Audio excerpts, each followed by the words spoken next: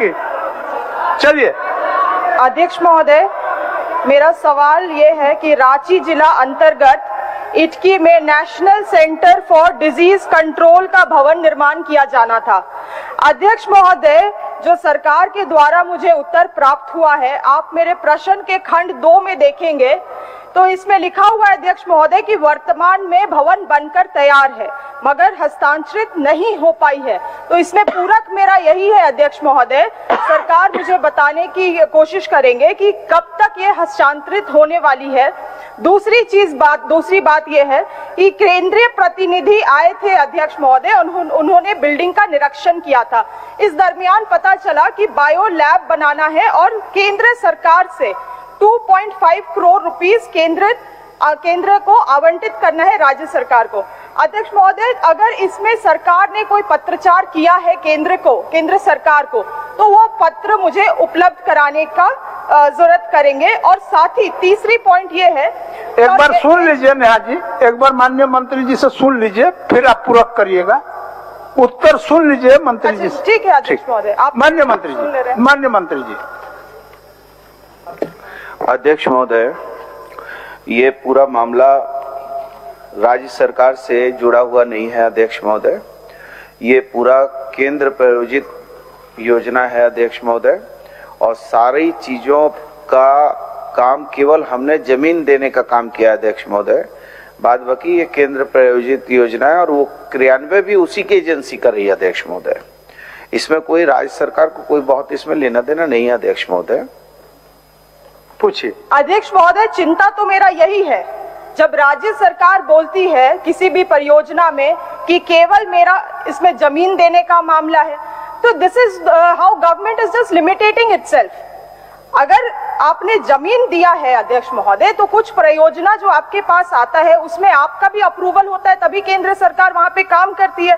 आज ठेकेदारी के चक्कर में अध्यक्ष महोदय, बस हम लोग स्ट्रक्चर बनाए जा रहे हैं बिल्डिंग बनाए जा रहे हैं। आप हमारे मांडा क्षेत्र में देख लीजिए लापोंग में इतना एकड़ ज़मीन हमने दिया सोलर प्लांट के लिए। अभी केंद्र बोलता है कि नहीं, हम लोग ने अपना स्ट्रक्चर लगा दिया है, बिजली विभाग कनेक्शन देगा। बिजली विभाग बोलता है, नहीं, केंद्र का स्ट्रक्चर है, वो देगा। तो अध्यक्ष महोदय रिसोर्स तो जा रहा है ना राज्य सरकार की। तो don't limit yourself by just saying कि हम लोगों ने ज़मीन दे दिया है और अब केंद्र के इसमें। मैं बस इतना कहना चाह रही हूँ कि कम से कम राज्य सरकार को अपने तरफ़ से एक मैकेनिज्म सेट करना चाहिए फॉलो अप मैकेनिज्म ताकि जो योजनाएँ केंद्र से आ रही है, उसका कंप्लीशन लूप को क्लोजर किया जाए अध्यक्ष महोदय। ये बात इस सरकार की या इस सरकार की नहीं है अध्यक्ष महोदय। आप देखेंगे तो पूरे झारखंड राज्य में ये एक पैटर्न बन गया है। ट्रेंड बन गया केवल ठेकेदारी के नाम पे स्ट्रक्चर बनाना है बिल्डिंग बनाना कैपिटल आउटले में जब हम लोग इन्वेस्टमेंट कर रहे हैं तो उसका क्या ये है? मान्य मान्य सदस्य आप पूरक पर आइए पूरक पर। आप पूरक मेरा यही अध्यक्ष महोदय पूरक मेरा साफ़ साफ़ है। मुझे अ, अ, मुझ, अ, मुझे बता दे कि राज्य सरकार कि कब तक हंस- हस्तांतरित होने वाला है? दूसरा चीज़, अगर इसमें प्रोजेक्ट आया है केंद्र सरकार से तो उसमें राज्य सरकार ने अभी तक क्या पत्रचार किए हैं? वो पत्रचार मुझे उपलब्ध करा दे। 2016 का बात है अध्यक्ष महोदय। 2023 हो गया। बिल्डिंग खड़ा है। वहाँ जहाँ कहीं पे बिल्डिंग बनता है तो रोज़गार का लोग एक्सपेक्ट करते हैं। कुछ तो स्टेट के लोग एक्सपेक्ट करते हैं ना, ज़मीन देते हैं। तो चिंता तो यही है बस। मान्य मंत्री जी।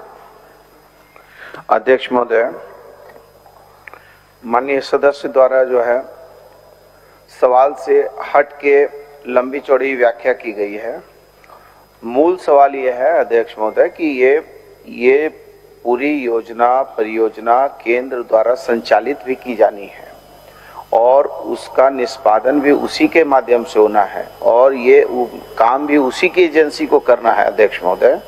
इसमें स्टेट गवर्नमेंट का कोई बहुत इसमें पार्टिसिपेशन नहीं है। तो इसमें जो है, फिर भी यदि माननीय सदस्य की इच्छा है तो हम लोग उनको वर्तमान वस्तु स्थिति स्थिति से अवगत कराने के लिए विभाग के द्वारा पत्रचार कर दिया जाएगा अध्यक्ष महोदय और यथा उचित पत्रचार करके यथा उचित इनको जानकारी भी उपलब्ध करा दी जाएगी अध्यक्ष महोदय। साथ साथ एक केंद्र के साथ भी पत्राचार कर लीजिए। हैं, अध्यक्ष महोदय? मान्य सदस्य का जो जिज्ञासा है उस जिज्ञासा को हाँ, वो सारी चीज़ों को केंद्रों के साथ भी थोड़ा सा एक सा, सारी चीज़ों को सदन के इस सवाल के को मद्देनजर रखते हुए सारी चीज़ों का उनको भेजकर और माननीय सदस्य की जो भावना है उसको भी उसमें दृष्टिगत करते हुए इनको अवगत करा दिया जाएगा अध्यक्ष महोदय। ठीक है।